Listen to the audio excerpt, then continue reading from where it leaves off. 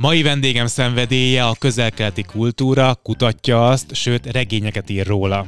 Milyen az iszlám nőképe, hogyan nevelik a férfiakat, és milyen bűnöket követnek el annak érdekében, hogy kijátszák a tradíciókat. Izgalmas, de egyben felkavaró beszélgetés következik. Itt van velem Úr Izabel, engem Lakatos Leventének hívnak, ez a Levente klubja, azonnal kezdünk.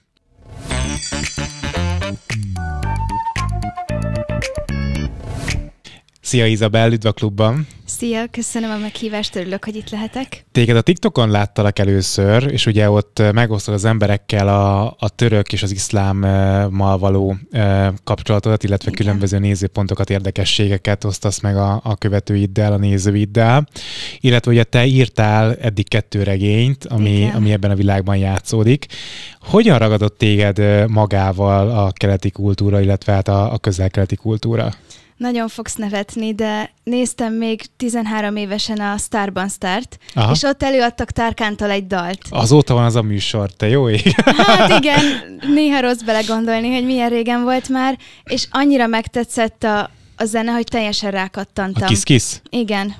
Igen, és, és egyszerűen utána az egész kultúra nekem egy szerelem lett, és, és meg akartam tanulni a nyelvet is, és utána már automatikusan jött, hogy ki szerettem volna költözni Törökországba. Mindezt de, 14 évesen. De mi tetszett meg? A dal tetszett meg, vagy a Tárkán karaktere tetszett meg? Tehát a, a férfi típus tetszett Mindkettő meg? Mindkettő igazából. Azt tehát, meleg. Hát, biszexuálisnak ja, okay. mondanám. Én, okay. én azt gondolom, hogy biszexuális, okay. de, de nagyon megtetszett maga az ember is, meg az a munka, amit ő, ő végez, tehát az ő munkássága ő nekem... még aktív egyébként zeneileg? Aha, csak hozzánk nem ér el. És nagyon inspiráló nagyon komoly ügyek mellett áll ki egyébként Törökországban, és, és utána egyre többet tanultam Törökországról, és ahogy egyre jobban megismertem, úgy szerettem meg az egész kultúrát. Uh-huh. Mi a számodra legérdekesebb a, a, a török is, illetve hát a hogy, hogy mondják az összefoglaló közelkeleti kultúrában? Igen, közelkeleti uh-huh. kultúra. Az, hogy nagyon, nagyon más világ. Szóval annyira távol áll attól, amit mi itt megszokunk, hogy, hogy tényleg nagyon lenyűgöző tud lenni szerintem egy európai ember számára. Az, ahogy például ők viszonyulnak a családhoz, ez annyira más, hogy, hogy nagyon nehéz nekünk. Jó, de hogy itt ülsz előttem, Igen. egy feltűnő jelenség, egy vidám, boldog jelenség. A közelkeleti kultúrában a nők helye az nem ott van, ahol az európai kultúrában, nem? Tehát, hogy nálunk azért sokkal szabadabban tudnak élni a nők, sokkal uh, uh, liberálisabbak vagyunk ebben a tekintetben is, mint a, mint a közel-keleten a, a, az emberek. Szóval, hogy ez sem rettent el attól, hogy te rajongj ezért a kultúráért?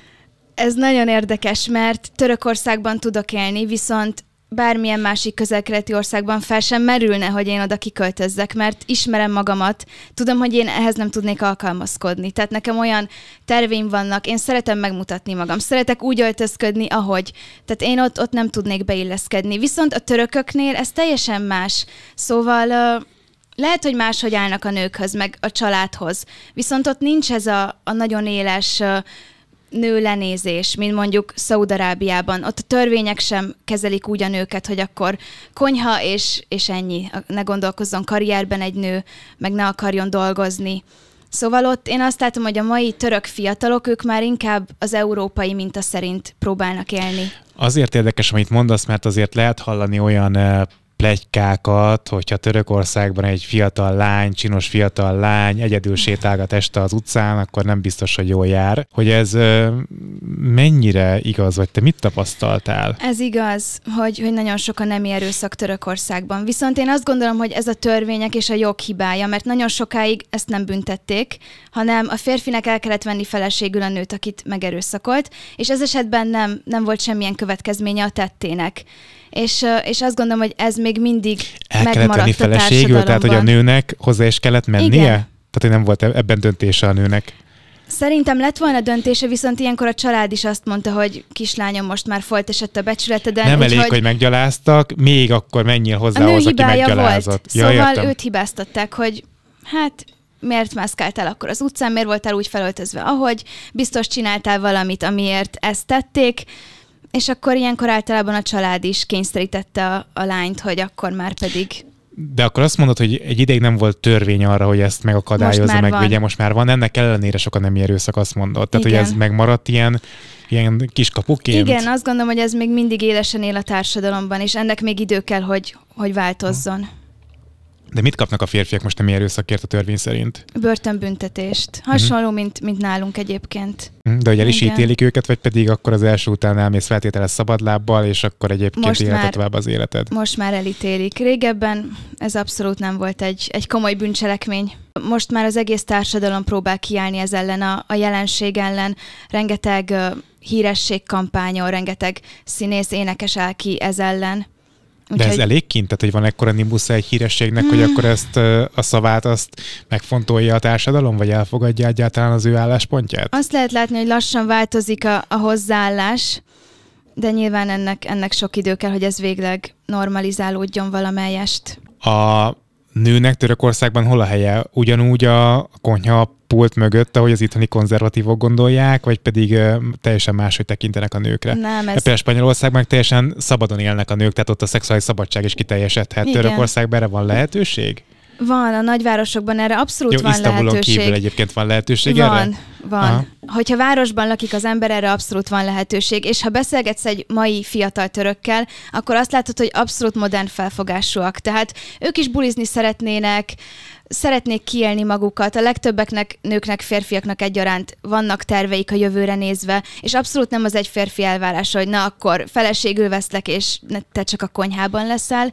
Úgyhogy én azt gondolom, hogy ez ma már, ma már nem így van. Viszont az tény, hogy a török férfiak sokkal féltékenyebbek, két hónap után mindenki házasodni szeretne, szóval ott azért mindenki abban gondolkodik, hogy komoly kapcsolat, család.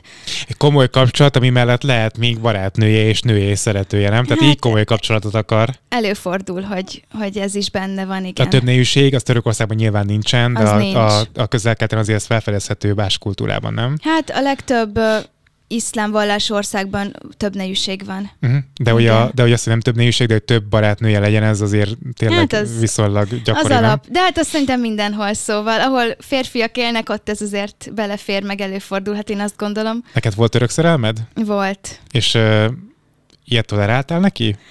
Ilyen nem volt, szóval azt gondolom, hogy előfordul ilyen, de, de az én én volt párjaim nagyon konzervatívak voltak, és, és rendes fiúk, ha lehet így fogalmazni, úgyhogy velük nem volt. Konzervatívak voltak, mert tekintetben voltak konzervatívak, tehát nem azt várták el, hogy főzni most se takarítsál otthon. Nem, bár egy kicsit azt kell mondjam, hogy minden török konzervatív. Egy magyar lány szemével nézve, én azt gondolom, hogy egy kicsit minden török konzervatív, viszont el kell tudniuk fogadni, hogyha valaki külföldi lányjal rendezvúzik, akkor az benne van, hogy én nem fogok főzni, mosni, takarítani Úgyhogy igen, ezt, ezt nekik is el kellett fogadni. A család mennyire telepszik rá mondjuk a fiúkra? Tehát, hogy a apa, anya mennyire befolyásolja az ő döntésüket, lépéseiket? Borzalmasan. Szóval ott az, az anyuka a szent, és az van, amit, amit anyuka mond. Tehát akkor neked anyuka szívébe kell belopni magad először. Hát körülbelül Aha. igen, és, és annyira elkényeztetettek a fiúk, hogy, hogy még nem láttak forró vizet. Tehát volt olyan párom, aki megkérdezte, hogy Iza, formára víz?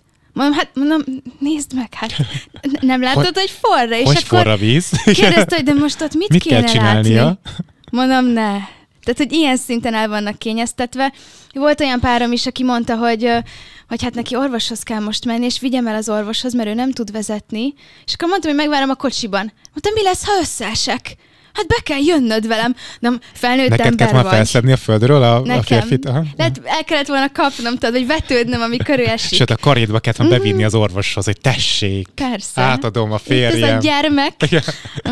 De ő így képzelte el, igen. Szóval olyan szinten el vannak kényeztetve, hogy képtelenek az önellátásra, jó, nem mindenki gondolom. Nem mindenki, de a mai fiatal generáció, én azt látom, hogy, hogy így vannak nevelve, hogy a kis szultán, aki megszületett a családba, a fiú trónörökös, és akkor minden jóval elhalmozzák, és hát ez később visszaüt Na de várjál, nyilván. ez nem csak, a, nem csak a, az elit közegben van így, tehát hogy ez a, a hétköznapi szinteken is így van? Igen.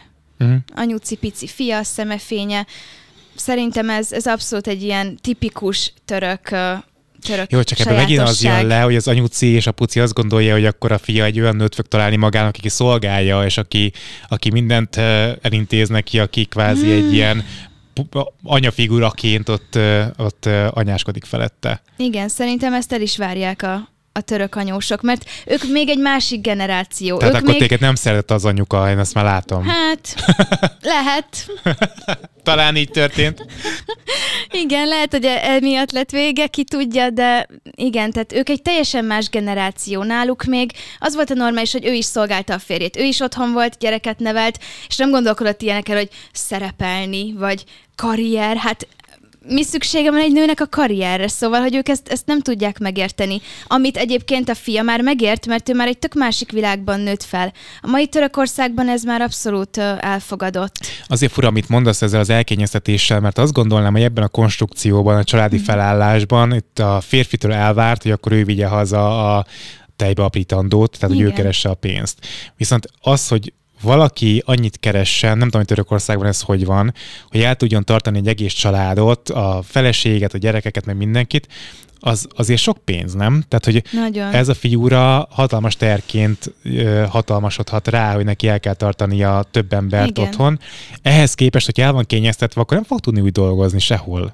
Ez, ez így igaz, ez így is van. Épp ezért ez a koncepció tök hibás, mert ott van egy elkényeztetett, életképtelen fiú, aki viszont azt nem bírná elviselni, hogy a nő hozza haza a pénzt, és ő legyen, aki ad neki zseppénzt, hogy jó, van, kisfiam, menjél, költsél, vegyél magadnak valami szépet, tehát, hogy ők ezt el nem tudják képzelni, hogy ilyen előforduljon. De akkor hiúk egyébként a török fiúk? Nagyon. Ők szeretnek lenni a férfiak, akik tényleg mindent megadnak a családnak, akik biztosítanak mindent a számukra. Ez valahol egyébként nekem egy szimpatikus hozzáállás, viszont aki nem képes ezt a maga felé támasztott elvárást teljesíteni, annak ez egy, egy nagyon nagy nehézség, hogy tőlem várnák, és ő is magától azt várná, hogy ő vigye haza a pénzt, de ugyanakkor Törökországban nagyon nehéz olyan állást is találni, amivel ennyi pénzt lehet egyáltalán keresni.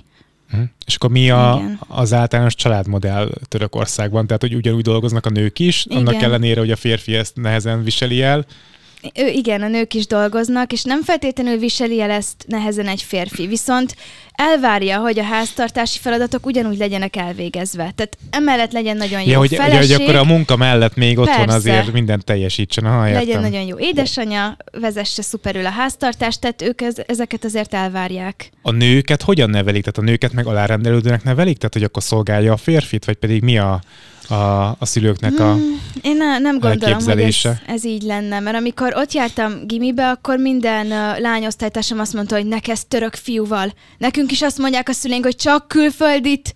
Még az igaz, hogyha mondjuk az a anyuka az lányos anyuka, akkor a saját lányának nyilván azt, nyom, azt nyomatja, hogy, hogy nem menj alá, ne, ne fogadd el, hogyha le akar nyomni, ne, ne fogadd el, hogy akkor megfoszta a saját személyiségettől, hanem akkor állj ki magadért. Tehát akkor ez real, hogy a régi idők a fiúkat úgy neveli, hogy akkor te vagy a kis hát király, igen. a lányokat meg úgy, hogy te legyél a kis király a kapcsolatban. Igen, épp ez a probléma, hogy a fiúk szeretnének ők lenni a bikák, akik megmutatják, hogy már pedig hogy lesz a rend otthon, és eközben meg a lányokat is feministának nevelik, akik meg szeretnék megvalósítani önmagukat, és emiatt valószínűleg nehéz lehet így a, az elvárásokat összeegyeztetni. Te, amikor kint voltál, akkor nem tartottál ezektől a plegykáktól, és esetleg megrőszakolhatnak az utcán?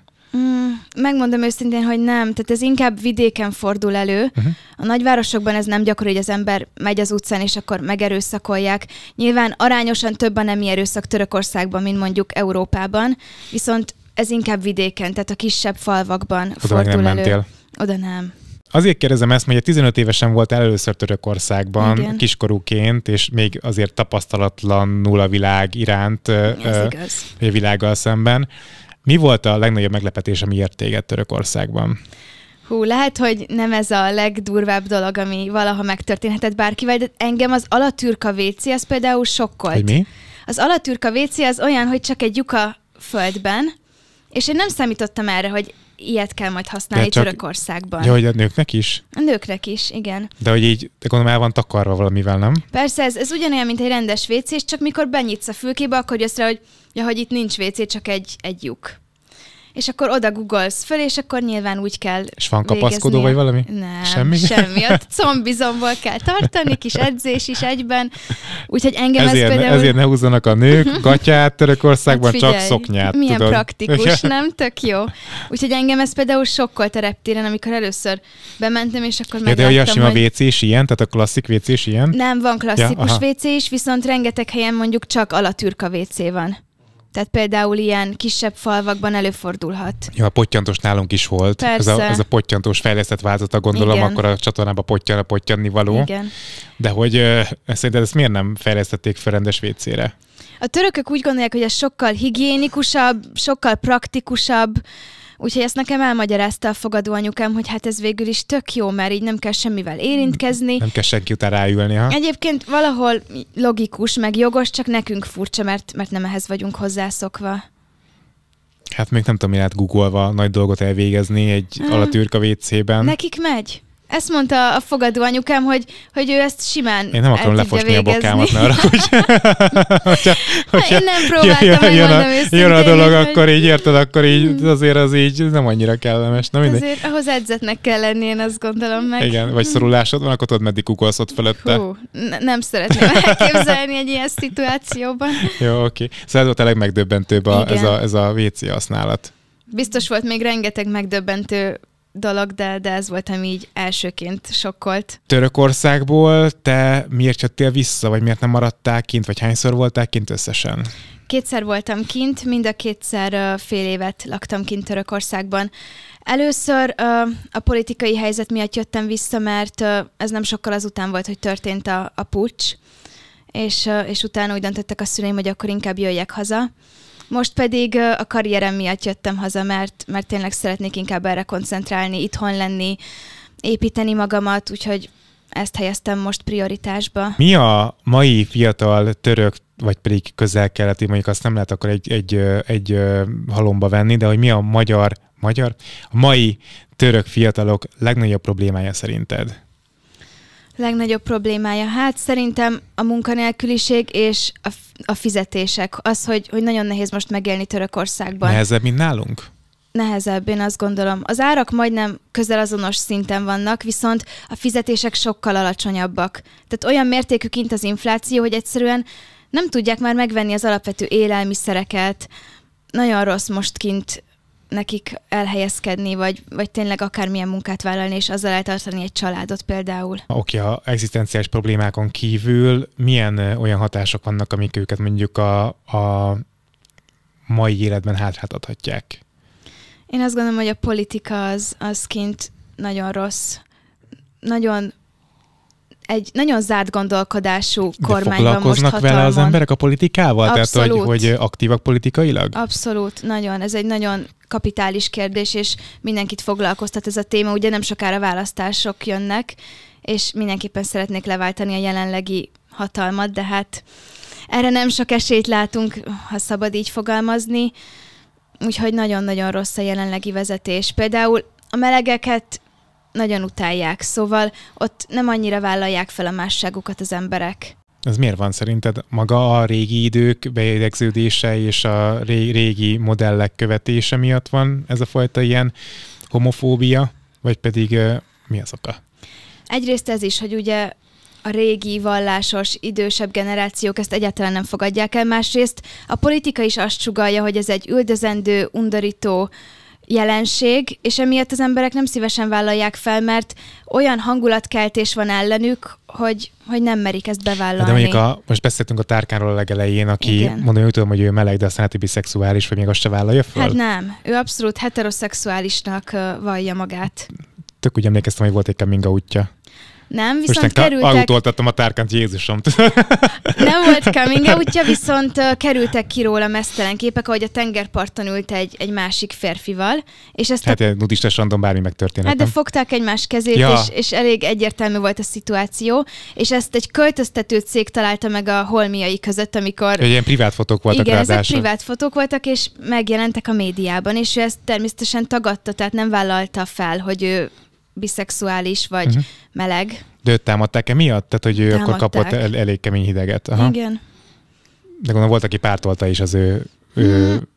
Nem? Hát maximum azok, akik nagyon ilyen elvakult tárkán hívek voltak, és a munkásságát Tehát nincs is meleg szerették. közösség Törökországban? Tehát, hogy nincs egy meleg bár, ahová tudnak menni szórakozni a fiatalok, mert azt megtámadják, vagy mi? Nagyon sok meleg van Törökországban is nyilvánvalóan, és van, aki felvállalja, de teljesen más az ottani hozzáállás ehhez, mint mondjuk nálunk. Uh-huh. És erről szerintem a politika tehet főként. A szexuális szabadság az mennyire jellemző? Tehát, hogy mondjuk a, a nők tudnak nyíltan beszélni a szexuális igényeikről, vágyaikról?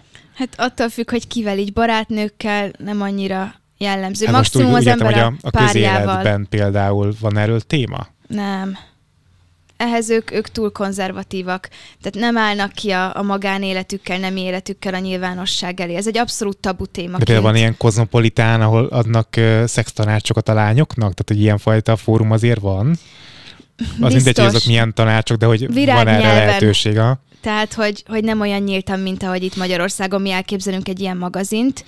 Nyilván ott is beszélnek ezekről a témákról, de például uh, felnőtt filmeket nem lehet nézni Törökországból. Tehát ezeket az oldalakat be se tudod tölteni kintről. Le vannak tiltva tényleg? Le vannak tiltva, igen. Maximum, ha VPN-t használsz, akkor uh-huh. tudod ezeket megnyitni, és csomó egyéb tartalmat is egyébként. Hogy tudod ezt a kis titkot, ezt a kis megoldást, milyen jól informált vagy ebben? Hát igen, én a kutató munkáim miatt, mert uh, például én majd az új regényem az a török-kurd konfliktusról fog szólni, uh-huh. és a kurdokról nagyon nehéz bármilyen információt megtalálni kintről Törökországból. Szóval engem ez sokkolt, hogy Ennyire cenzúrázzák a, a internetet? Aha. És csak a, a kulturális dolgokra akartam rákeresni. Tehát ilyen abszolút ártalmatlan témák, és csomó oldalt nem tudtam betölteni. És, és ez is például ledöbbentett. Te gondolom beszélgettél korodbeli fiatal lányokkal, Igen. nem tudom mennyire jött szóba az intim életük. Tehát, hogy ők ismerik azt, hogy a szexualitás az nem annyi, hogy misszionális pózban a fiú rakta hármat, és akkor mindenki boldog?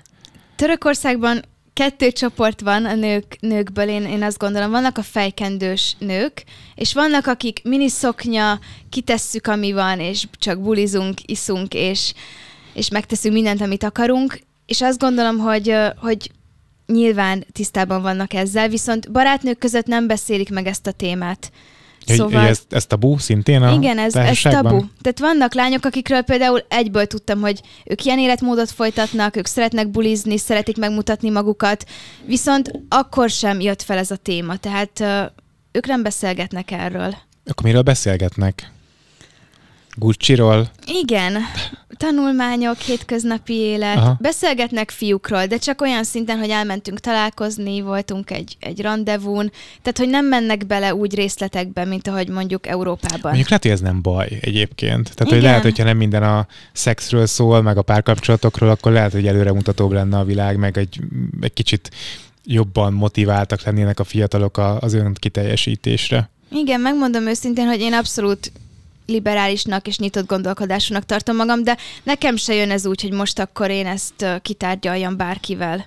Uh-huh. Szóval lehet, hogy ők csak szimplán zárkózottabbak ebben a kérdésben. Az iszlamisztika neked az hogy jött a tanulmányait közé? Ez így párban jár az a, a, a suliban? Igen, ezt kötelező is tanulni, meg a könyveim miatt muszáj volt, mert ahhoz, hogy megértsem az ottani embereket, Ugye, ahhoz... turkológia, iranisztika, bocsánat, nem iszlamisztika, miért nem javították, hogy hülye vagyok? Tehát, hogy akkor ez így jár párban? Uh, nem, ez, ez úgy van, hogy a, a türkológia a főszakom, és emellé a minorom az iranisztika, de az, a minor az választható, szóval választhattam volna tényleg iszlám tanulmányokat, vagy akármilyen másik van? Nyelvet.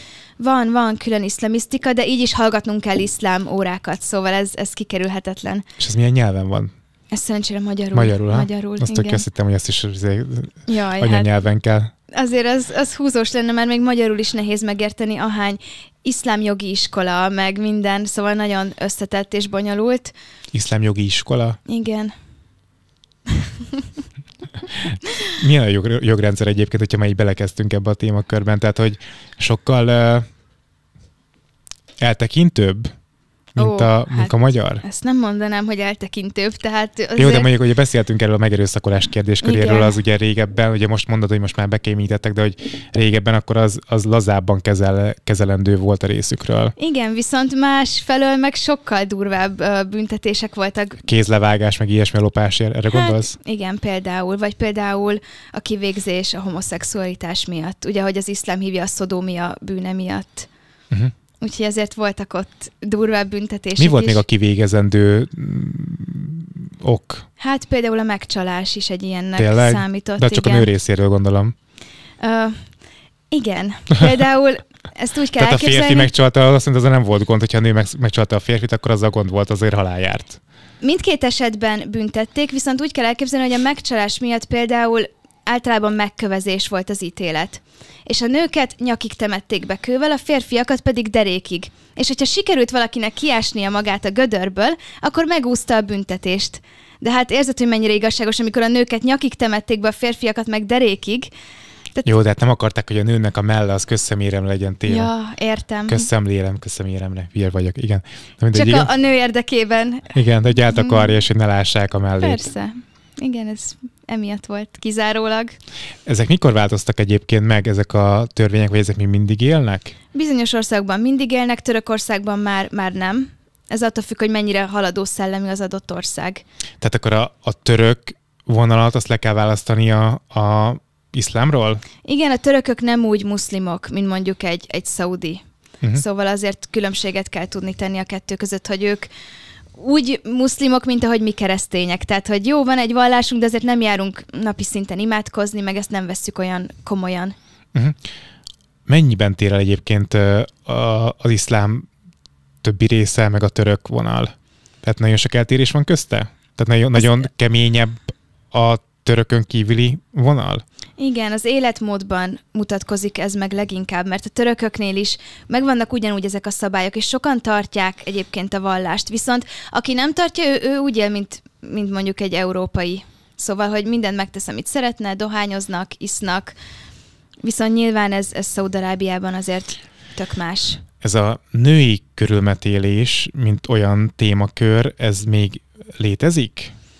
Uh, Hát a közel-keleten nem igazán, szóval például Törökországban, Iránban ez, ez nem létezik már. Ezt így hívják, ugye? Igen. Ja, tehát jól, jól fogalmaztam, igen, mert igen. Ilyen, elgondolkoztam magamon, hogy a női körülmetélés, lehet, hogy hülyeséget beszélek, nem, de akkor nem. ezt így hívják. Igen.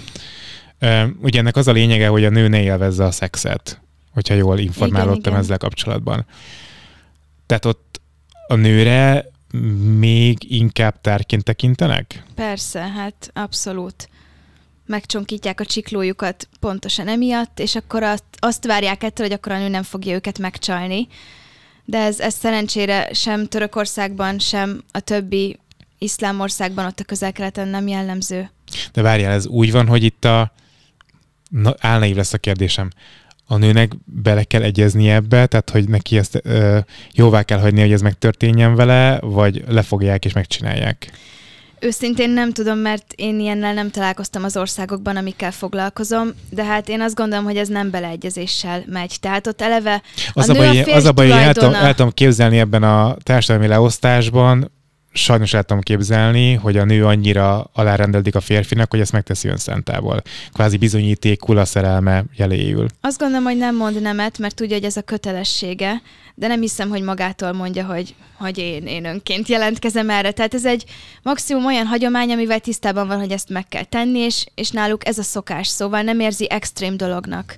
Uh-huh. Ezt tudom elképzelni. Akkor te is találkoztál olyan nővel, aki ilyen körülmények között éli az életét, akár úgy, hogy több nejűségben élve ő is egy a feleségek közül, vagy hogy, vagy, hogy ö, megcsonkított ö, nemi szervű? Megcsonkítottan nem találkoztam olyannal, aki, aki egy a négy feleségből, olyannal természetesen igen, ez egy gyakori dolog a legtöbb uh, muszlim vallású országban. De ez a gazdagoknál gyakori, vagy pedig egyébként tényleg a társadalom összes szegmensében, vagy összes szintjén? Uh, hát változó. Iránban például van több nejűség, de nagyon kevés ember tart több feleséget, mert ez... Mert drága mulatság. Egyrészt drága mulatság, másrészt brutálisan... Sok Gucci, Gucci, Gucci. Igen, másrészt brutálisan nehéz ezt elviselni, hogy négy nő folyamatosan marakodik, hogy az én gyerekem, miért nem az én gyerekemnek vetted, ő miért kapott többet, én is akarok olyan parfümöt, ha neki autót vettél. Szóval, hogy folyamatosan állabál, és ezt, ezt senki nem szeretné 0-24-ben hallgatni, én azt gondolom. Tyúkolban a kis kakas, mi? Hát igen. Ez a férfinek is a jól felfogott érdeke, hogy akkor jár jól, ha egy feleséget tart, aztán legfeljebb elválik. De amikor beszélgettél ezzel a nővel, akkor ő mivel indokolta azt, hogy így éli az életét? Nekik ez nem furcsa. Például az arabok azt mondják... De van itt szerelem? Tehát, hogy itt a nő érez szerelmet a férfi iránt, vagy pedig azt látja, hogy a férfi jól él, és akkor ez egy megalkuvó kapcsolat, mert akkor ő is jól él. Én inkább ezt gondolom. Tehát lehet, hogy szereti a férjét, mint embert, de ezek általában elrendezett házasságok, szóval nem úgy történik, hogy ha meglátta hatalmas szerelem, és akkor ők össze akartak házasodni, hanem megmondták a szülei, hogy figyelj, kislányom, ez egy jó parti, ezzel foglalkoznak a szülei, van sok pénze, jó életet fog biztosítani, és akkor a lány is örült, mert végül is ő is megkapta, amire vágyott, és akkor ez egy ilyen... De várj, akkor a, a muszlim nők nem ismerik a szerelem fogalmát? Ezt azért így nem mondanám, de, de nagyon sok az elrendezett házasság. Tehát például Törökországban szerelemből házasodnak az emberek. De én azt gondolom, hogy Szaudarábiában nagyon sok a közvetített házasság. Azért ez érdekes lehet, hogy valakivel úgy éled az életedet, hogy egyébként nem vagy belé szerelmes. Hát igen. És úgy ház vele. De ott ez nem furcsa, ez a kötelessége. De érdeklődtél ettől a nőtől, hogy hogyan éli az életét? Tehát, hogy például a hálószobában ott be van osztva, hogy melyik nap kialszik a férjel, vagy, vagy hogy Általában ez? igen. Uh-huh. Igen, ez, ez így szokott lenni. Tehát hétfőn ez, kedden az, szerdán amaz. De ez nekik nem furcsa, mert ez akkor alakult ki, mikor nagyon sok háború volt, és, és rengeteg férfi meghalt, és a nők ott maradtak egyedül. És utána egy férfi elvett több nőt, mert ugye nyilván több volt a nő, aki ott maradt, és emiatt alakult ki ez a szokás. Manapság meg azt mondják az arab férfiak, hogy csak így lehet dinasztiát alapítani. Mert azért mégis más annak a... Máshogy jön az le, amikor bemegy valaki 10 gyerekkel, 15 gyerekkel, 20 gyerekkel mondjuk egy tárgyalásra, és tényleg ott van egy egész dinasztia, mint amikor egy embernek van két-három gyereke. Nekik ez fontos, hogy tényleg hatalmas családot tudjanak alapítani, aki majd tovább viszi a vállalkozást, a családnevét, és ezt nyilván egyetlenül nem tudja biztosítani a férfinak. Hát azért van rá példa Magyarországon Igen. is, és nem tudom, tehát hogy a világ több részén, hogy azért, hát egy, általában egy trónörökös van, nem, aki tovább viszi az egész Igen. bizniszt. Lehet, hogy a testvérét beveszi maga mellé dolgozni, de akkor meg előjön, előjön a, a konkurenciaharc és hasonlók. Hát igen. De ők meg abban hisznek, hogy minél nagyobb a család, annál erősebb. Oké, okay, írtál nekem információkat föl egy levélben. Az egyik az volt, hogy Törökországban minden tizedik kisgyerekből egy gyerek munkás. Igen. Tehát, hogy akkor a szegénység, hogy a gyereknek is el kell mennie dolgozni?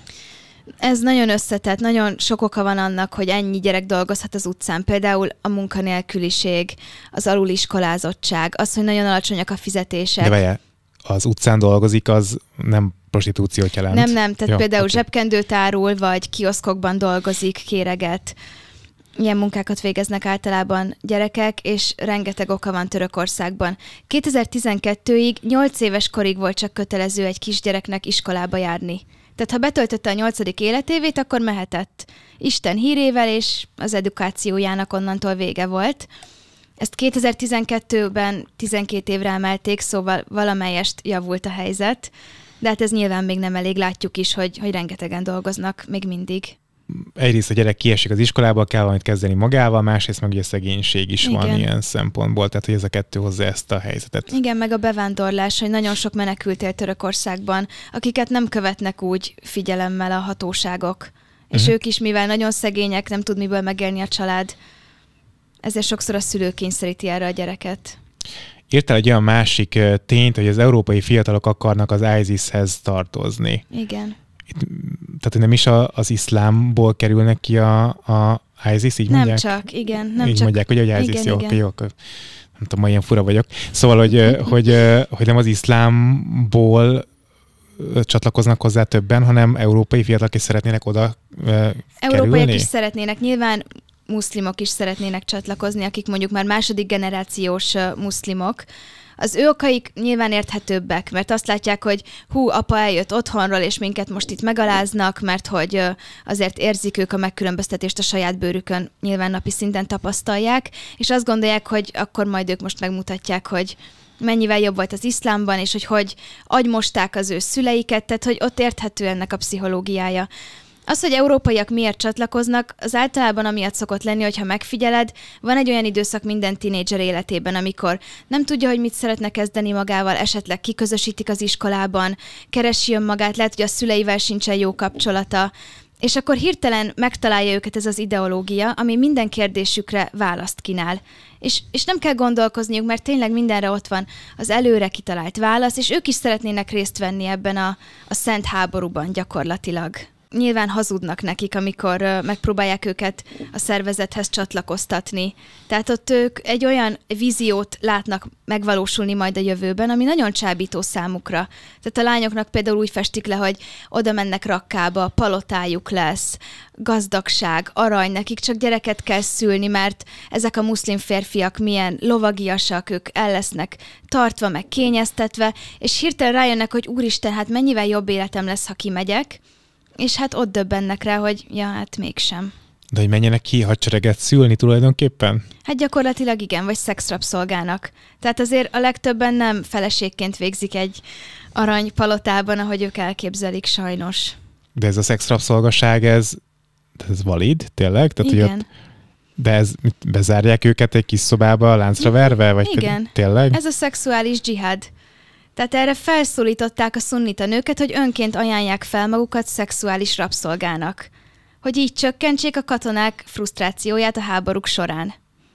És ez egy teljesen De bevett gyakorlat volt az ISIS körein belül. Az önként jelentkezni és a fogva tartani, az kicsit, hát, kicsit más. Önként jelentkezel, aztán fogva tartanak. Aha. De hogy ez a szent kötelességük, hogy ők jelentkezzenek erre a szexuális dzsihádra tulajdonképpen.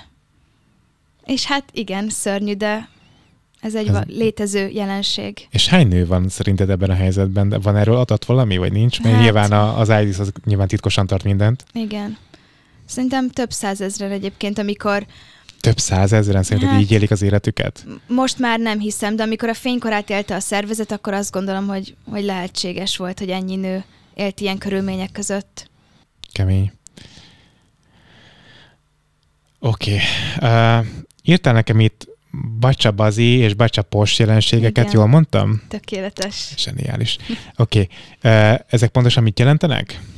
A bacsabazi az egy perzsa kifejezés, a bacsa azt jelenti, hogy gyerek. A balzikárdan az pedig játszani. Tehát ez egy ilyen playboy jelentéssel bír gyakorlatilag ez a szó összetétel. És ez arról szól, hogy befolyásos gazdag férfiak magukhoz vesznek 10 és 18 év közötti fiatal fiúkat, akiknek női ruhában és minkben kell táncolniuk a férfiak számára tartott partikon.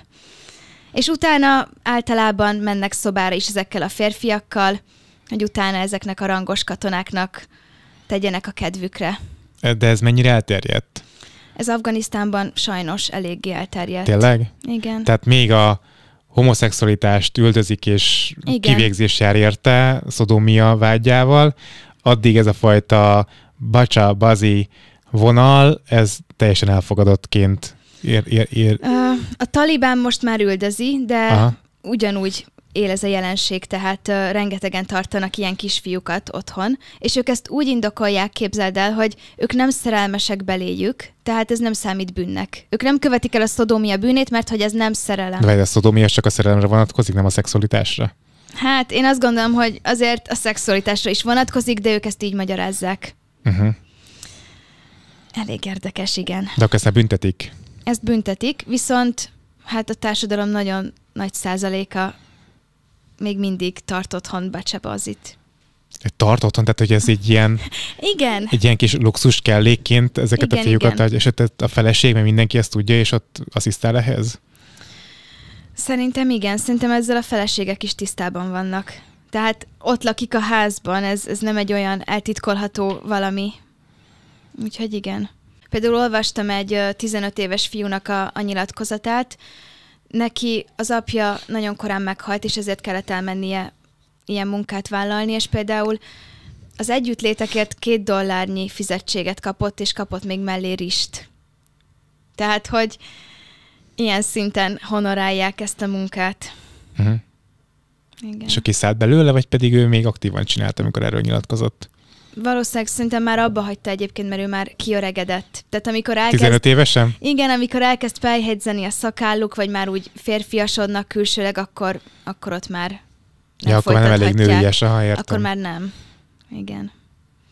Ő lehet, és a bacsapos, az, az a jelenség gyakorlatilag arról szól, hogy ha nem születik fiútód egy családba, akkor kinevezik az egyik lánygyermeket, akinek levágják a haját, fiú nevet kap, és utána ő fog fiúként élni. Igen. Tehát, ő hogy lesz ő, a de várjál, tehát, hogy neki a, az identitása is férfinek kell, hogy legyen, tehát úgy kell viselkedni, mint egy férfi? Nem feltétlen kell úgy viselkedni, mint egy férfi, viszont kinyílik számára a világ, tehát iskolába járhat, sportolhat, elkísérheti a hugait olyan helyekre, ahol nem de ez mehetnének. egy alapvetően lánynak ez nem megadatott? Tehát ez nincs lehetősége egy lánynak? Ja, nem. De ez alapvetően... Nem sportolhat, nem járt iskolába, meg semmi? Nem. Hát sajnos, főleg a talibán idejében, az, amikor a talibán volt először hatalmon, akkor nagyon-nagyon szigorúak voltak ezek a szabályok. Nem járhattak a lányok iskolába, nem mehettek ki az utcára férfi kísérő nélkül. Szóval ilyen szinten nem csinálhattak gyakorlatilag semmit azon kívül, hogy otthon elvégezték a háztartási munkákat. Hát ez igen. Szép. Tehát akkor ez a lány, ez azzal jut jobb pozícióba, hogy kvázi fiúsítják legalábbis külsőleg. Igen. És az úgy De akkor ez a, várj, várj, bocsánat, most, ez, most okay. ez, ez a lány, hogyha járhat iskolába és sportolt, akkor az mind fiúk között történik? Igen mert hogy egyébként nincs a lányoknak lehetősége, más lányoknak, tehát nincs lányiskola, Persze. meg ilyesmi, nem akkor becsöppen egy lányként fiúk közé. Igen. Ez, ez pontosan így történik, és ebben a periódusban ő tényleg úgy el, mint egy fiú. Szóval úgy is öltözködik, fiú nevet visel, és tényleg Álva mindenben... Hmm, például, ha meg tudja oldani, akkor igen, tehát, hogy, hogy tényleg férfias személyiségjegyeket fejleszt ki ezek alatt az évek alatt, mert ő tényleg úgy funkcionál, mint egy, egy teljes értékű férfi. Nyilván nem számít teljes értékű férfinek, tehát a tanárai tudják, hogy ő valójában lány, itt nem a megtévesztésről van szó.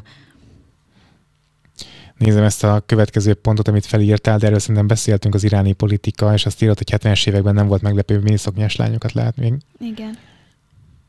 Hogy nem azt írod, hogy akkor régebben ez könnyebb volt? Igen. A salk idejében teljesen más volt Irán. Szóval megdöbbentő, de tényleg a városban azt lehetett látni, hogy abszolút normális volt, hogy lányok miniszoknyában sétálgathattak az utcán, kint tanultak nyilvánosan a parkokban. Teljesen más volt az élet, mert Mohamed Reza Pahlavi ő Atatürkhöz hasonlóan próbálta megreformálni az országot. Már az apja is elkezdte ezt a modernizációs... Tehát semmit nem értek ebben, amit mondasz. Tehát bár itt mondhatnál, azt most elhinném, igen. Szóval Mohamed Reza Pahlavi volt az utolsó sah Iránban. Aha. És az ő apja kezdte el ezt a modernizációs politikát. Egy Kemal Atatürkhöz hasonló reformot akart bevezetni, és például megtiltotta a nőknek a kendőviselést, a nők szavazati jogot kaptak, viszont iszonyatosan korrupt volt a rendszer, és az emberek elégedetlenek voltak. A császárok császárává koronáztatta magát meg a feleségét. Éhezett a népük, még mindig drága kövekkel kirakott ruhákban jártak meg. Tehát ilyen Marie Antoinette jellegű Aha. volt a pár. És akkor 79-ben jött ugye az iszlám forradalom, amikor megjelentek a mostani ajatollahok, és, és megváltozott az élet Iránban, és visszafordultak gyakorlatilag az iszlám gyökerekhez. Milyen fura, hogy egy visszafejlődés történet van előttünk, nem így a, a felszabadulás szempontjából, vagy hát így a, a női felszabadulás szempontjából. Tehát a nők nem szavazhatnak. De szavazhatnak. Tehát az, az, megmaradt. az megmaradt, viszont például az erkölcsrendészet figyeli, hogy hogy van egy nő felöltözve. Tehát ha túl kihívó a sminked, akkor kaphatsz pénzbüntetést. Ha nem viseled a kendőt, akkor akár börtönbüntetést is kaphatsz. De, de ez hol van? Iránban? Iránban, igen. És Törökországban ezzel szemben? Ezzel szemben szerencsére semmi ilyesmi nincs, nem kell kendőt hordani, nincs erkölcsrendészet, ott tényleg, ha úgy gondolom, hogy én miniszoknyában akarok kimenni, hát akkor egészségemre legfeljebb néhányan utánam kiabálnak, hogy mégis mit képzelek, de hogy azon kívül semmilyen bántódásom de mi a szabálya a kendő használatnak, meg hogyan is hívják? Mert azt tudom, hogy van a burka. Igen. De hogy ezen kívül van a csador. Ők hijabot, hijabot hordanak Iránban. Hijab, aha. Igen. De az mibe különbözik, mint a többi? Az gyakorlatilag csak egy kendő, amit ilyen felváról feldobnak a, a hajukra. Annyi a szabály, hogy a haj 80%-át kötelező eltakarni. Tehát azért az iráni nők szeretik megmutatni a hajukat, amennyire lehet ők feszegetik a határokat, viszont abszolút fedetlen fejjel nem lehet kimenni az utcára. De ennek mi az oka? Ne legyen, ne legyen csábítás? Vagy... Hát például. Meg ez is az elnyomás egy eszköze. Szóval ott olyan szintű diktatúra van, hogy minden ilyen eszközt megragadnak. Uh-huh. Minden lehetőséget Igen. arra, hogy akkor ezt így az alá, alárendeltséget éreztessék. Hát, ha megnézed a politikusok lányait, ők mind Amerikában tanulnak, és modellkednek, és miniszoknyában, meg világra szóló esküvőket tartanak, és senkinek nincs ezzel problémája. Hát veszkintről nem látják valószínűleg. A vallási vezetőnek a le, gyerekei. Le, le, le van tiltva az elérés ezeknek az oldalaknak valószínűleg, hát nem? persze, de felháborító, szóval ők maguk sem a vallás miatt csinálják, csak hogy kontrollálják az embereket. Uh-huh. Te ehhez a, a burkini vonalhoz mit szólsz? Nem tudom, én nem ítélem el, hogyha valaki ezt érzi normálisnak, akkor én azt gondolom, hogy hagyni kell, hogy, hogy hordja, de azt tudni kell, hogy aki burkinit hord, az már eleve egy haladóbb szellemű muszlim nő. Tehát azért egy nagyon régi vágású, nagyon uh, zárt gondolkodású muszlim nő soha nem venne fel egy burkinit, és nem menne el fürdeni. Tehát ők inkább ülnének kint burkában, csadorban, mindegy a, a vízpart uh-huh. mellett. Az a baj, hogy egyébként ez az egész uh, iszlám vallása, hogy uh, nekem egy kicsit képmutató ez, hát a, ez a dolog. Vannak nagyon képmutató elemei, az biztos. Tehát például az, hogy a férfiak elvárják, hogy a feleségük szűz legyen, amikor ők kérik a leghitetlenebb életmódot, tehát buliznak, csajoznak, mindent megtesznek, amit akarnak, de nekik szűz feleség jár. Tehát ilyen nincs. Vagy tartod a vallást, és tényleg hívő életmódot folytatsz, vagy akkor el kell fogadni, hogy hát a, a jövendőbeli feleséged is ugyanezt az életmódot élte. De várj is a szűz feleséget akarnak, és uh, akkor gyerekek kell próbál, tehát vagy hogy oldják ezt meg? Nem feltétlenül, de elvárják egy 20 plusz éves nőtől is, hogy legyen szűz. És e- ezért van az, hogy nagyon sok a szűzhártya visszaállító műtét a közel-keleten. Mert a nők meg szeretnék teljesíteni ezt is, meg akarnak felelni ennek az elvárásnak, de hát a mai világban lehetetlen.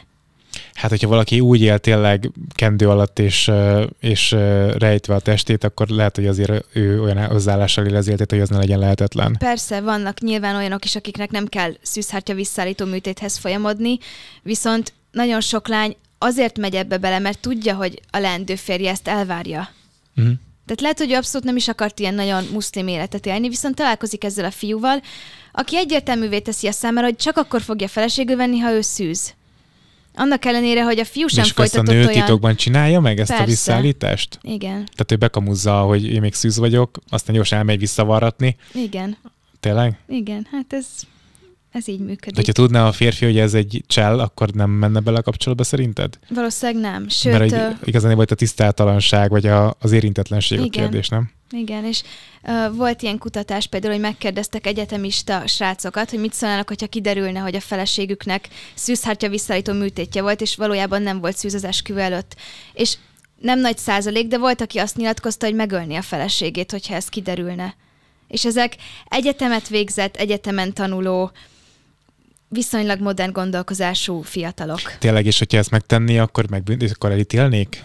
megbüntetni a, a törvény. Persze, hát a törvény megbüntetné, viszont maga az elf, hogy ő így reagálna erre, hogy a felesége... Én ér, értem, amit mondasz, csak az érdekelt engem, hogyha hogy a törvény, akkor, hogyha egy hazugság miatt öli meg a feleségét, ami tulajdonképpen egy társadalmi elvárás, akkor hogyan reagál? Hát a gyilkosság az gyilkosság, valószínűleg mindenképpen elítélnék a Tehát nincsen a felmentő ereje, ott sincs semminek nem, a... Nem, nincs felmentő ereje, viszont sokan bevállalják ezt a becsületükért, mert ezeket úgy hívják, a gyilkosságot? Igen, hogy becsületgyilkosság. Tehát ezt meg kell cselekedni ahhoz, hogy ezt a foltot lemosd a becsületedről. És inkább megy börtönbe, mint hogy ezt benyelje. Nyilván ez extrém eset, tehát a legtöbben ezt nem lépnék meg, van, aki csak szimplán elválna, de, de vannak, akik tényleg így gondolják, hogy ez akkora szégyen, hogy ez csak így lehet lemosni. Itt írod azt, hogy Törökország és vidék kontrasztja. Itt pontosan mit értesz, amiről már beszéltünk, tehát hogy vidéken sokkal nagyobb a veszély mondjuk egy fiatal lányra a sötétedés után, mint a városban? Igen, egyrészt, másrészt a család hozzáállása is teljesen más egy fiatal lányhoz. Tehát vidéken sokkal gyakoribbak az elrendezett házasságok, a becsületgyilkosságok, amikről az előbb beszéltünk. Tehát ezek a nagyvárosokban már nem fordulnak elő, hogy az apa megöli a lányát, mert már nem volt szűz.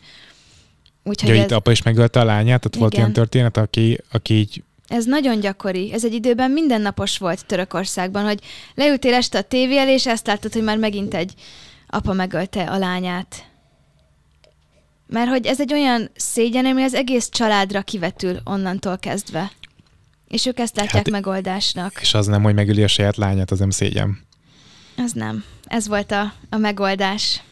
És nyilván ez nekik is nagyon nehéz, ők közben zokognak, nem akarják megtenni, de úgy érzik, hogy ez a társadalmi elvárás.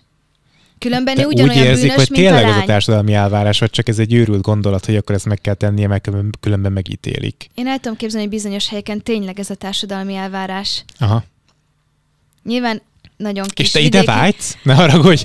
Tehát neked ez a kedvenc, kedvenc kultúrád? Én nagyon érdekesnek tartom. Ez, nyilván vannak extrém esetek, és Nyilván ez hát nem érdekes, de messziről szemlélni tök érdekes, mert hogy, mert hogy vannak még ilyen kattanások a világban, meg nyilván rengeteg ilyen van más Persze. kultúrában is, de hogy, hogy ez most innen Budapestről ülve egy azt gondolom, hogy viszonylag civilizált országból tekintve, azért ez eléggé barbárnak tűnik.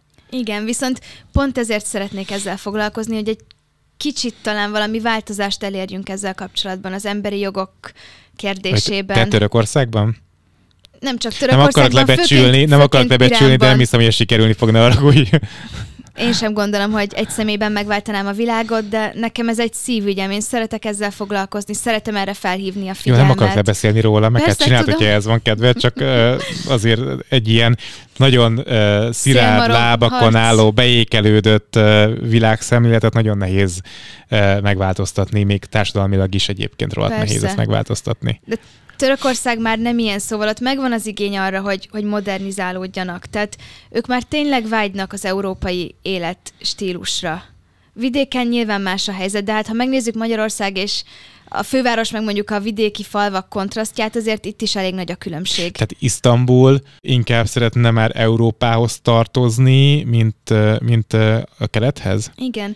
Én például beszélgettem most egy török barátommal, pont mielőtt eljöttem, és mondtam, hogy hát a törökök közelkeletiek, és kikérte magának, hogy hát a törökök európaiak. Hát hogy mondhatsz ilyet, mondom, drágám, ne haragudj meg, de ez egy tény, hogy ti közelkeletiek vagytok, tehát ezzel nem lehet vitatkozni. Szóval ők ténylegesen európaiként tekintenek magukra, mert úgy is élnek, mint az európaiak, úgy is gondolkoznak, mint az európaiak. Most a vidéket ne számítsuk ebbe a képletbe bele, de a nagyvárosokban tényleg úgy élnek, mint ahogy mi. Uh-huh. Oké, okay, írsz nekem egy uh, iráni illem művészete dolgot az érdekességeit között. Uh, taruf. Tárof. Tárof. Majdnem. Egy vétés, bocsánat. Ez mit jelent pontosan?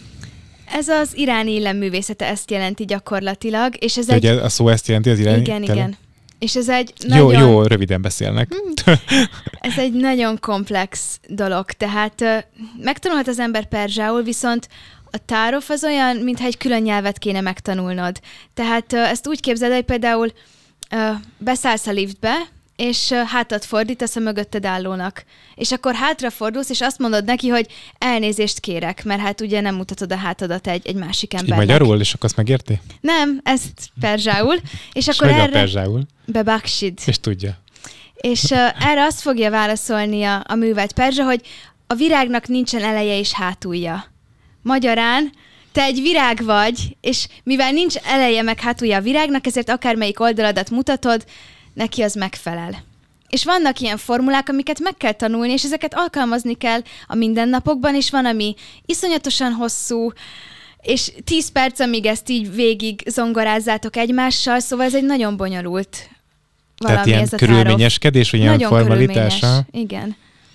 Tehát például mondjuk a szemedbe süt a nap, én behúzom a függönyt, akkor te azt mondod, hogy ne fájjon a, a keze. Én erre azt mondom, hogy ne fájjon a feje.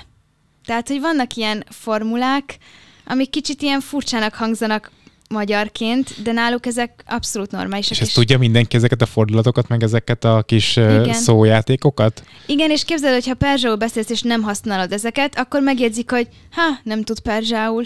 Mert hogy akármennyire beszélsz jól, ha nem tudod a tárofot, akkor ők úgy kezdik, hogy hó, hát azért annyira jól mégsem tud. És a bocsánat, ráírtam a lábára, arra mi a válasz? Fú, nem tudom. Ezért én nem vagyok ekkora tárov szakértő, de hogy, hogy a legtöbb ilyen helyzetre van valami bevált formula. Zseniális.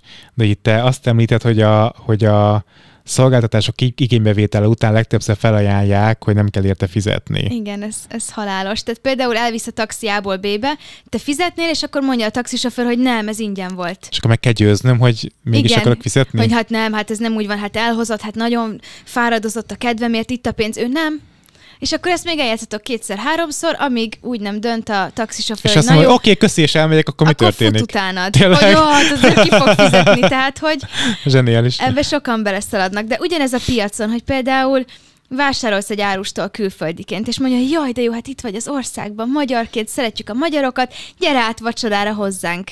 És csomó turista belefutott már, hogy jaj, de rendes, tök jó, hát hova menjünk, hánykor? És ott kapott sokkot az ember, hogy úristen, hát ezt ő nem komolyan mondta, ezeket nem szabad elfogadni, Aha. ez csak egy, egy udvariassági gesztus.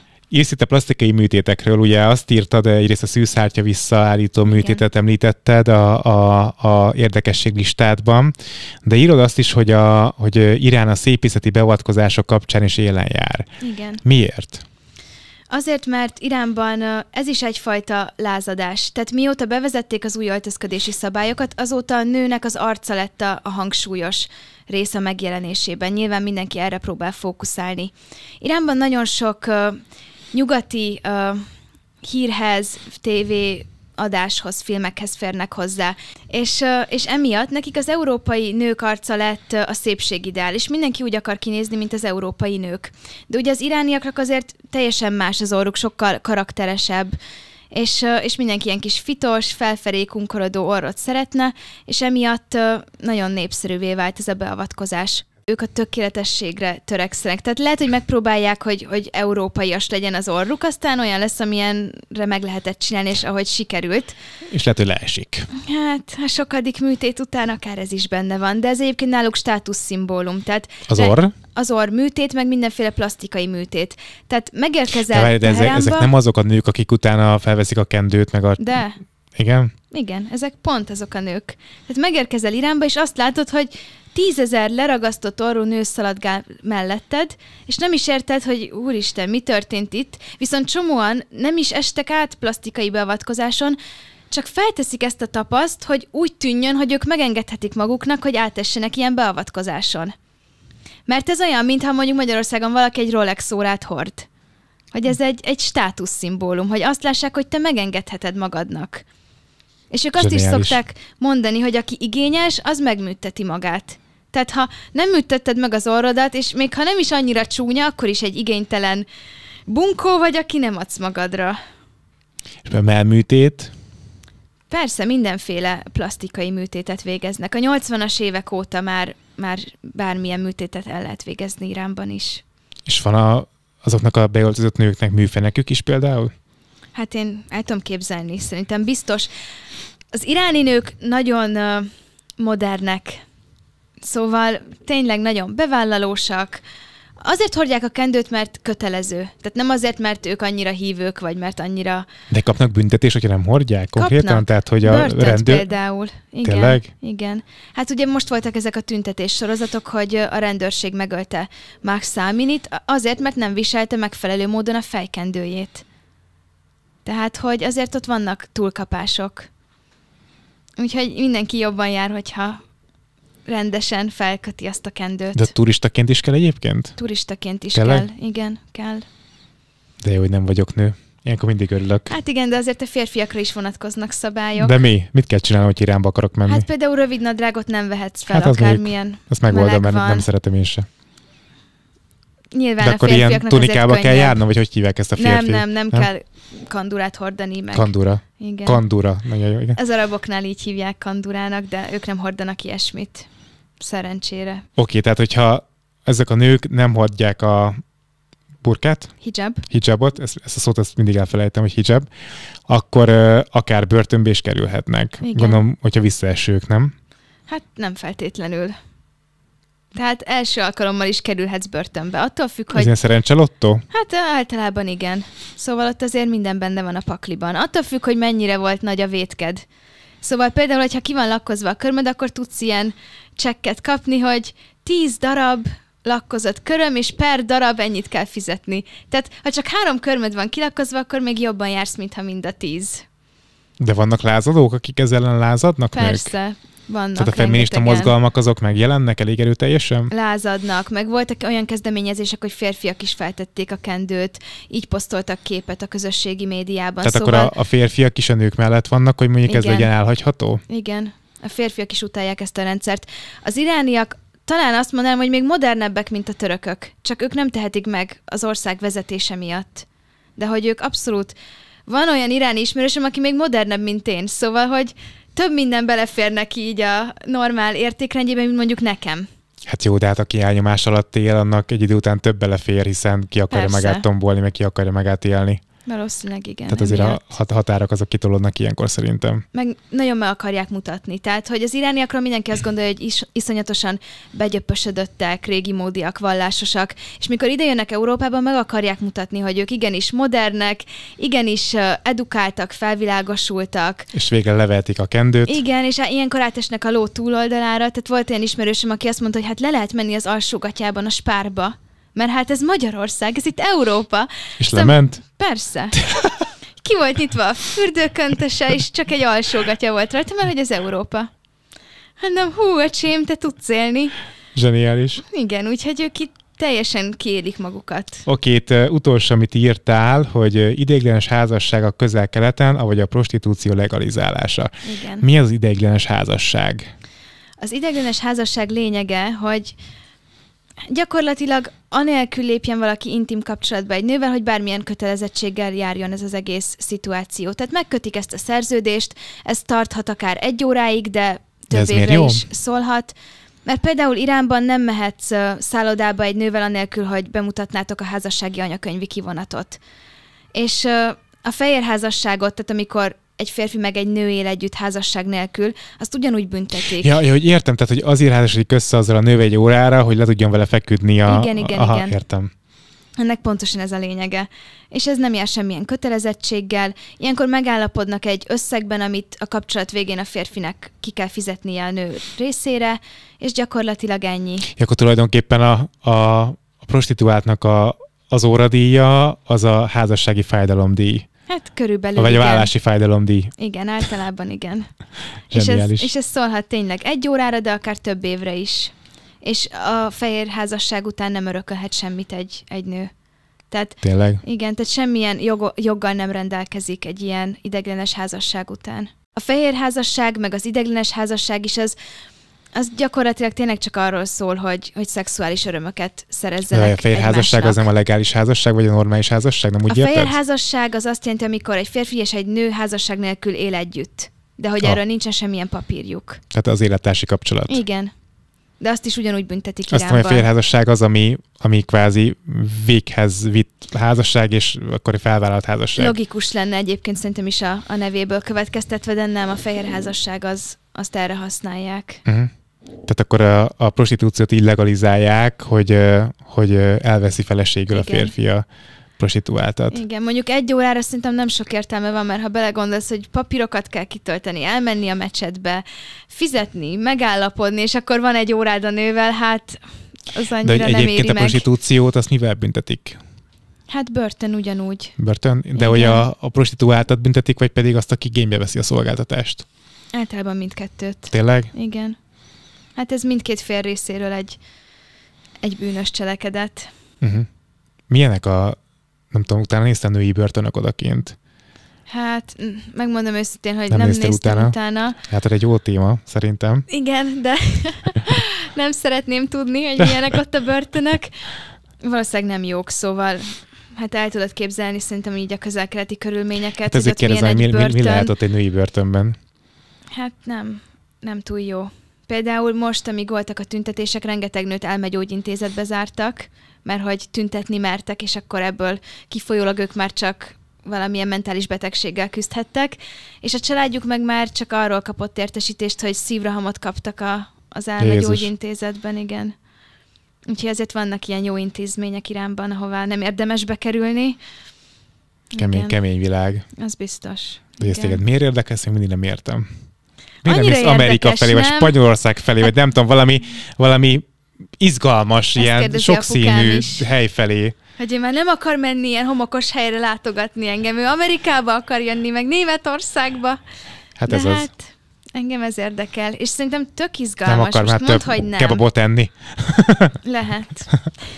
hát figyelj, érdekes, meg nem tudom, de hogy ott élni, meg ott ezt így kutatni, így hallgatni tök érdekes, tehát tök jöttek kutatót és elmeséled, de hogy én magam így beleme, belemélyedjek ebbe a témába, és kutassam, és oda költözök, és ott éljek, azt nem nagyon tudom elképzelni. Én mindig ezzel akartam foglalkozni, és mindig olyan munkát akartam, ami rejt magában valami veszélyt. Tehát én terepen akartam dolgozni, azt akartam, hogy lőjenek rám, hogy ott a katonákkal rohanjunk a felszerelésünkkel ja, te teljesen normális, azért azt tegyük hozzá. Ez valószínű. Azt hogy lőjenek rám. Lőtt, és lőttek rá? Nem. Hát na, az még, még kimaradt. Ilyen, ilyen élményem még nem volt, de aztán rájöttem, hogy egyébként nem vagyok ez a típusú csaj, aki ott a bakancsában a 30 kilós hátizsákkal rohan. Szóval ezeket most már csak könyvekben írom meg, de... Elkezdtél futni magas sarkuban edzeni, én hát tudom. igen, hát nem az én világom, futni. sajnos ez a, ez a fajta terepen dolgozás, de hát kiélem így a, a kalandvágyamat.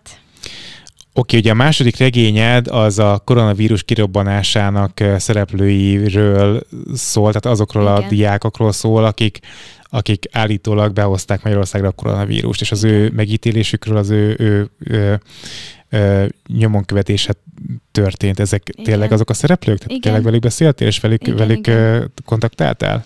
Igen. A főszereplő, ő volt a legjobb barátom, és uh, és én Tehát ő volt a nulladik beteg tulajdonképpen itthon? Igen, igen. Tényleg? Igen. És uh, mindenképpen tudtam, és szeretnék írni egy könyvet Iránról, mert már akkor is nagyon érdekelt az iráni kultúra, meg maga az ország is. És hónapok teltek el azután, hogy őket deportálták, és én gondolkodtam, hogy miről írjak, hát Hát miről, és akkor ezt jutott, hogy... őket kirúgták az országból igen, a koronavírus fertőzés miatt tulajdonképpen? Igen. Azért, mert egy olyan média harag zúdult rájuk, ezt úgy képzeld el, hogy mindenki meg akart őket büntetni. Mert hogy muszlimok, irániak, eddig itt nem volt koronavírus, és gyakorlatilag a kormánynak ez az intézkedése olyan volt, hogy na tessék, muszlimvert ontottunk, itt van, megkaptátok a bűnösötöket, és akkor mindenki megnyugodhat és akkor olyan bűnöket kentek rájuk, amit soha életükben nem követtek el. Tehát azt képzeld el, hogy ők orvostan hallgatók voltak. Nyilván tudták, hogy kell viselkedni egy kórházban. Nem verték meg az ápolókat, nem törtek be ablakokat, semmi ilyesmiről szó nem volt. Ez később be is bizonyosodott egyébként, mikor már az emberi jogi bírósághoz fordultak. És, és ugye én mindenképpen Iránról szerettem De volna kiállított, hogy ezt csinálták? Ezt a kórház, a hatóságok, gyakorlatilag mindenki és koncepciós perbe fogták őket, és így kollektíven kilettek utasítva az országból. De egy kórházban van biztonsági kamera, tehát őt lehet látni, hogy ott az emberek mit Igen, csinálnak. de semmi ilyen, ilyen bizonyíték nem volt. Mm. Úgyhogy uh, elég érdekes volt Nagyon maga az volt, akkor maradjunk annyiban, igen. Igen. 30-szor módosították kb. a per iratait is, meg mindenféle ilyesmi történt.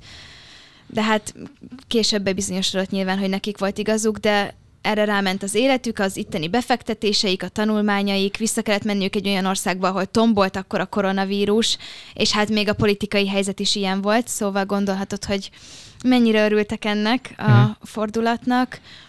Úgyhogy azt gondoltam, hogy azzal, hogy megírom ezt a történetet, egyrészt igazságot szolgáltatok nekik, másrészt talán egy kicsit érzékenyítem az embereket, hogy azért, mert valaki muszlim, meg iráni nem feltétlenül rossz ember, és ezért nem feltétlenül támad kórházi dolgozókra, Úgyhogy így ez volt a célom igazából ezzel a, a regényel. És a regény az igaz történet teljesen, vagy fikcióval kevert igaz történet, vagy hogy építetted fel a sztorit?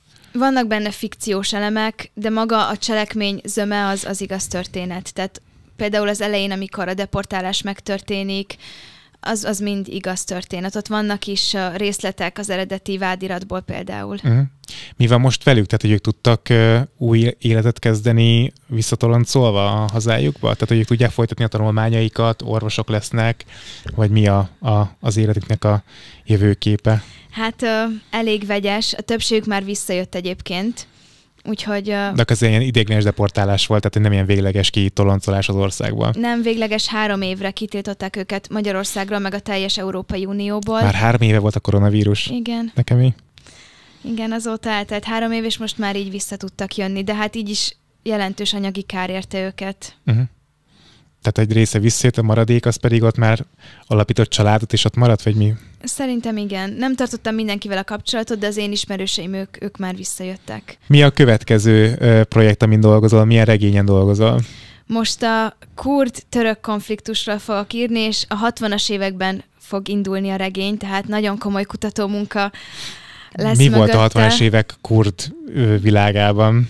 Ez egy családtörténetét fogja felölelni, és emiatt kell nagyon a múltban indítani a, a sztorit de hát én még csak most végzem a kutatómunkát, szóval így a 60-as évek Törökországával nem voltam annyira tisztában, de most már könyvtárba járok, idegenvezetőkkel felvettem a kapcsolatot, török könyveket olvasok, szóval tényleg mindent elkövetek, hogy minél inkább képben legyek.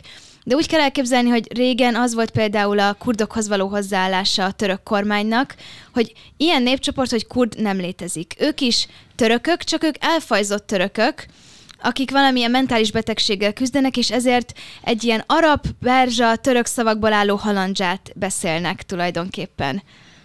Ez Zseniális. volt a, a hivatalos verzió. És a kurdok zömében az ország keleti régióiban élnek, és emiatt semmilyen fejlesztés nem történt akkoriban a keleti régiókban, tehát nem voltak iskolák, nem volt rendes kórházi ellátás, szóval a kormány mindent elkövetett, hogy vágja a fát őket, igen. a kurdok alatt gyakorlatilag, igen. És akkor lesz egy szerelmi szál, vagy mi lesz? Igen. Egy kurd fiú és egy török lány. Hát szerintem ez alap, hogy legyen egy kis romantika is a, a regényben, de mindenképpen szeretném azt bemutatni, hogy egyik fejnek sincsen igaza, és hogy egy kicsikét mégis igazuk van. Tehát ebben a helyzetben nem lehet igazságot szolgáltatni, és ez gyakorlatilag egy meddőszélmalomharc. Tehát halnak meg az emberek már évtizedek óta, és még mindig nincs megoldása ennek, és nem is lesz. Tehát ez a fölösleges ellenségeskedés, ez, ez nem vezet semmi jóra. Mikor mondtam a török barátaimnak, hogy én erről fogok írni, akkor mondták, hogy kurdokról, és nem rosszakat fogsz mondani. Mondom, miért mondanék rosszakat? Mondom, ők is normális emberek. Ja, dehogy normális emberek, ezek terroristák. Mondom, na jó, mondom, te se szereted a kormány, de mondom, azért felülsz az ilyen propagandának. Nem, nem minden kurd terrorista, nem minden kurd rossz ember, tehát, hogy ezt szeretném bemutatni igazából. Izabel, köszönöm, hogy itt voltál, és ezeket megosztottad, érdekes világot kutatsz, azt kell, hogy mondjam. Kívánom, hogy a következő regény is jól sikerüljön, és egyre több olvasód legyen. Köszönöm. És hát kívánom, hogyha ki szeretnél oda menni, akkor eh, élni, akkor ezt megtehet, de apukáddal osztozom, inkább Ameriká felé hát az irány. Köszönöm szépen, hogy itt lehettem. Köszönöm, hogy itt voltál. Ha tetszett a beszélgetés, iratkozz fel a csatornára, nyomd rá a csengéikonra, hogy jelezzen, hogyha új videó érkezik. Nézd meg a korábbi beszélgetéseket, szólj hozzájuk, lájkold őket, és hogyha van kedved, kövess a különböző social media platformokon, például az Instagramon, vagy újabban a TikTokon is.